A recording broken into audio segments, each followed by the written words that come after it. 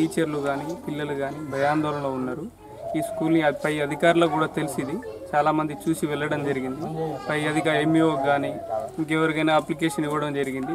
దాన్ని డిలే చేయకుండా సత్వరమే కొత్త బిల్డింగ్ శాంక్షన్ చేసి చేస్తే పిల్లల స్ట్రెంత్ కూడా పెరిగే ఛాన్సెస్ ఉందన్న భయాందోళనలో ఉంటారు కాబట్టి హెల్మెట్ పెట్టుకున్నారు. ఎప్పుడు కూలిపోతుందో తెలియదు కదా.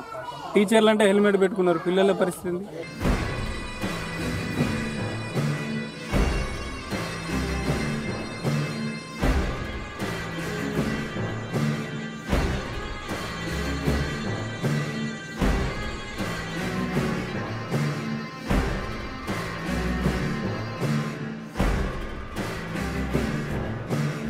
ఇది ఇట్లా ఊగుతాంది.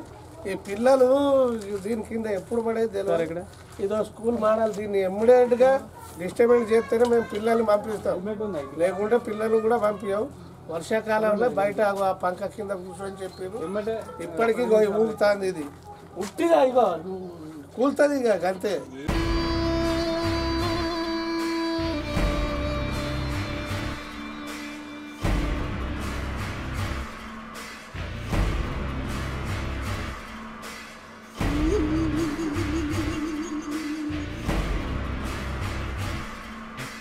గతంలో కూడా సర్పంచ్ గారు పలు దఫాలుగా ఐటీడీ పిఓ గారికి మళ్ళీ కలెక్టర్ గారికి కూడా చాలా స్టేజ్లో ఉంది ఎండ్ ఆఫ్ స్టేజ్లో ఉంది. ఖచ్చితంగా సత్వరంతో న్యాయం చేయండి సార్. పిల్లల భవిష్యత్తు ఉంది అది. ఇరవై మంది స్టూడెంట్స్ ఉన్నారు. ము- ఇద్దరు టీచర్లు ఉన్నారు. ఖచ్చితంగా ఆ బిల్డింగ్ని శాంక్షన్ చేపియండి సార్ అని పలు దఫాలుగా మాజీ సర్పంచ్ గారు ప్రజెంట్ ఉన్న సర్పంచ్ గారు కూడా ఎన్ని దఫాలుగా వాళ్ళు చేసినా కూడా న్యాయం లేకపోవడంతో మళ్ళీ ఇవాళ కూడా ఇన్స్పెక్షన్ చాలామంది వస్తున్నారు సార్. అధికారులు ప్రజాప్రతినిధులు వస్తున్నారు ప్రతిరోజు వస్తున్నారు ఇన్స్పెక్షన్ చేస్తున్నారు కానీ వాస్తవంగా అక్కడ చలనం లేకపోవడం బాధాకరం సార్.